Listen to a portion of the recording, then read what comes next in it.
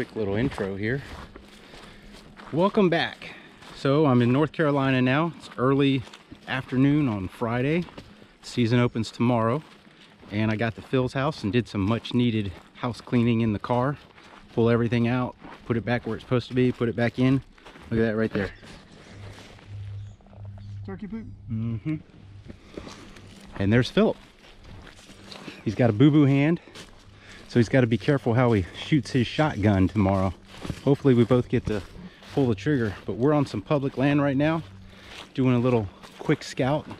Just get the lay of the land. And uh, we're actually going to be hunting on some private, but we also are thinking we want to hunt this public too. So keeping our options open, doing a little scout. And actually, when the sun's behind the clouds, it's a pretty nice day. Otherwise, that sun comes out, it gets hot quick. Nice chunk of woods though. Oh, and we've already found some good tracks on the ground. So we got this big boy. And then Mr. I, Phil I jumped the turkey. Jumped the turkey. A big old, big old black big bird. So that's probably the dude that left those big old tracks. So we know they're back here and we're going to check out some other places. And uh, we'll see how this works out. Nice chunk of ground though. Real nice. Walk into where water crosses the road and take a left and go 75 yards. There might be a couple of ducks in there. Uh-huh. You see more than one? See the water rippling in the background? They got okay there goes two Two flew. There was two in there.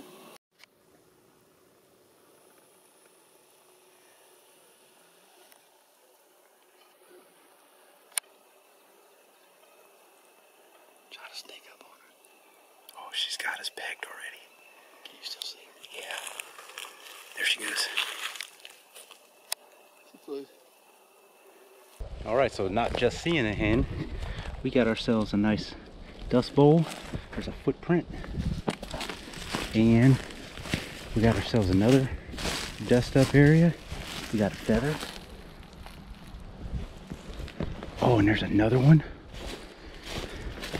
This looks like it might have been one before the limbs got in there.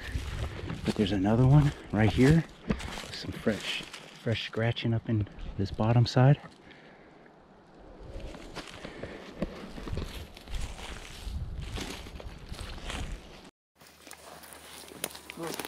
right through here. That's not that old. Looks like a pretty big print too. Yeah. So now we're on the private land, poking around, seeing what we see. Find a starting point for tomorrow.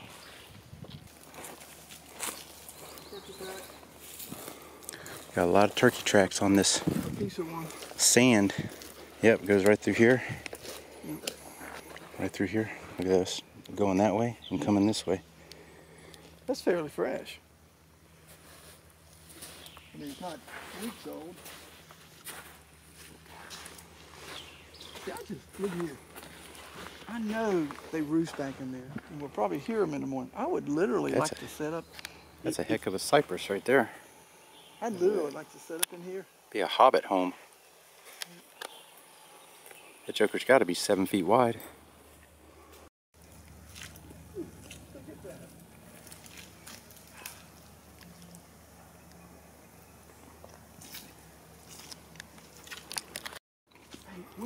There's a whole bunch of tracks right here.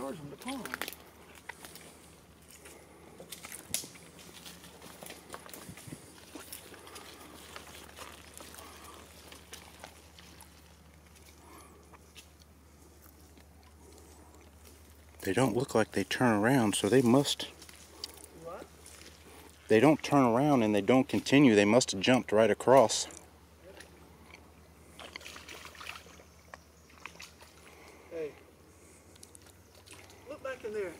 look how clear it is. Get down here at turkey level. What do you see? Just down here at turkey level, it's beautiful. Man, look, you could set up. Look at that down log over there. That would be a great place to sit. I mean, I'm telling you, I like this place. That's a big old footprint right there, son. brought you in here. Right through here. Right there. Walking right through here. Those are deers. Oh, there's one going that way. Look at the size of that joker. You can see the fingerprints in this one. You can see his fingerprints. You what? You see the fingerprints? Uh huh. That's fresh. Good morning, folks. It's opening morning here in North Carolina. Phil and I are on some private land. I don't think I showed any footage of this spot previous, but uh, it's a strip of green back here in the kind of in the swamp on a little piece of high ground. We bumped a couple hens off of here yesterday, and this morning sounds like we've got three, maybe four gobblers somewhere in the vicinity. Phil's off at my about two o'clock, maybe 2.30 at about 50 yards. Got decoys out in front of me, maybe a little too close for my comfort, but we can both see them, and we're gonna call just a little bit more. Decoys are right out here. Probably 20 yards. Bill's over there at about 50. There's at least three gobblers, possibly four. But none seem to be very close right now.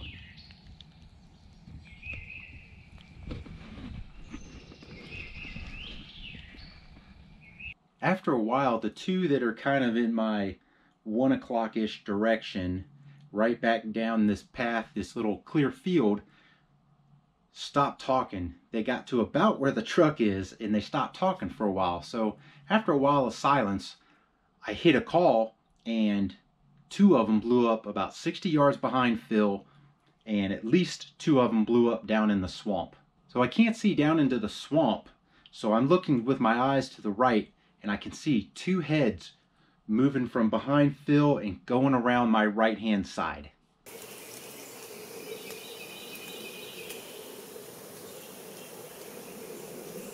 If you listen closely here, you can hear them coming right down the lane on my left. They're in single digit yardage.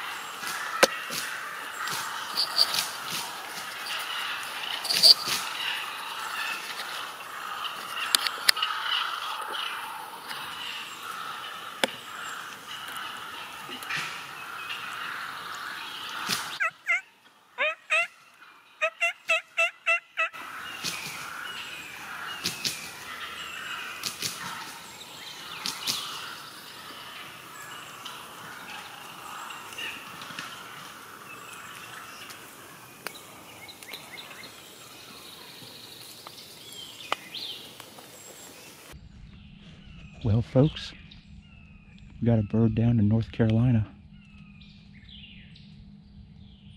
And that was with the bottom barrel of this Stevens. He was close, real close. Got sketchy. I wanted to watch him a while, but they seemed to want to maybe shy away from that decoy, so couldn't let that longbeard get away. The one in front looked like a bigger bird, but he had a Jake type beard. Maybe he was a super Jake, or maybe he had beard rot or something. I'll give another couple minutes and get up and go over there.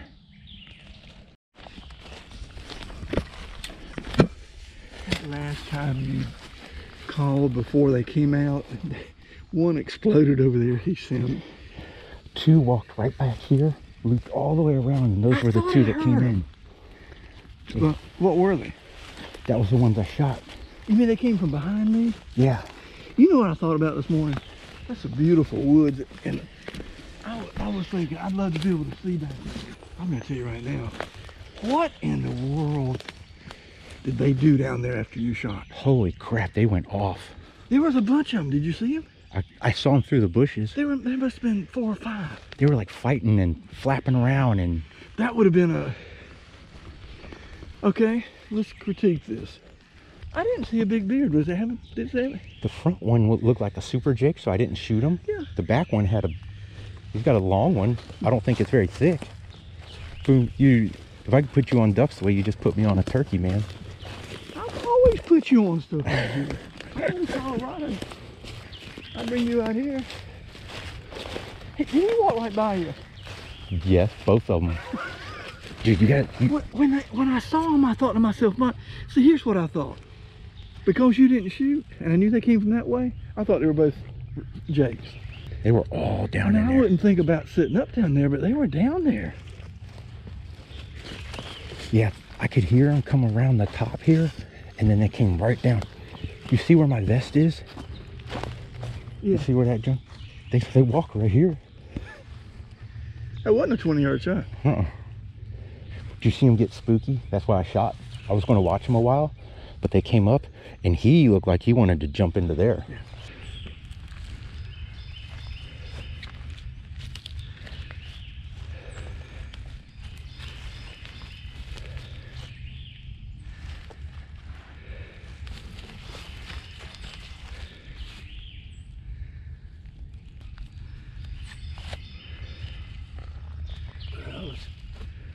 Wow. Long.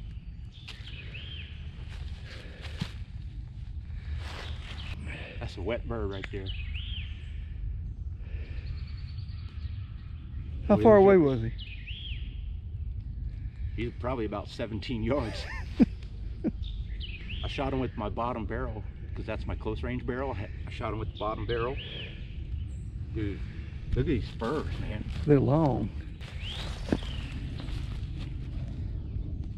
Those are going to go over an inch probably. Yep. See, I saw this hanging off of this guy. He was the one in the back, and he seemed passive compared to the other one. Uh-huh. But he got spooky, and the other one's beard was sticking out. It was like six inches long, but sticking straight out. And he got spooky, so I said, "You can't leave." If I had known you were going to shoot the other one, I could have got the other one because he just, he went right. it happened so quick, man. I didn't have time to do nothing. Look at that. Look at that. Are different colors? Yeah, look at that. Is that normal? No. Barred tail feathers. That's pretty cool. First morning. First morning. That's a nice turkey. Nice spurs. Mmm. Look at those I think feathers. to go out in the field and walk to the left and go down to the creek and. I mean, did you hear one just a few minutes ago? Yeah, he seemed like he's on the maybe the other side of the field. Then on our way back to Phil's house, we saw a couple of birds and we pulled over to get a good video of this one. Oh, he's got two hens. I don't believe you'd ever call him, would you? I think he might stay in the field until those hens do something else.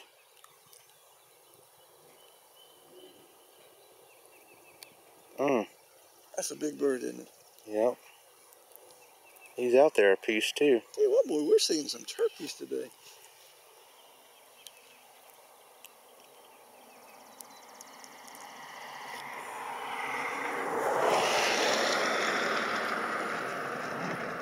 Well, I hope you liked this video. If you did, go ahead and give us a thumbs up and hit that subscribe button down there. And as always, thanks for watching.